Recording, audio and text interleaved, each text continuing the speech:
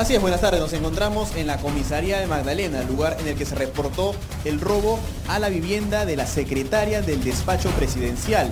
Lo que sabíamos hasta este momento es que se habían llevado alrededor de 20 mil soles y artefactos como televisores, PlayStation, iPads, laptops, en fin, muchos, muchas cosas de mucho valor, además de dos relojes valorizados en 2 mil dólares cada uno.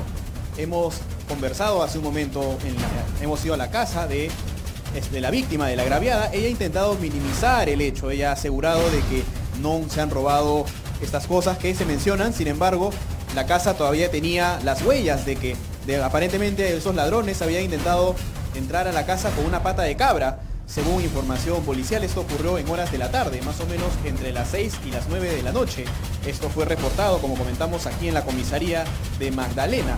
Algo que también cabe mencionar es que también se habrían llevado documentos que guardaba la agraviada. Hasta el momento se vienen todavía investigando. Esto ocurrió, según hemos obtenido información, el día viernes, el día 12 de septiembre.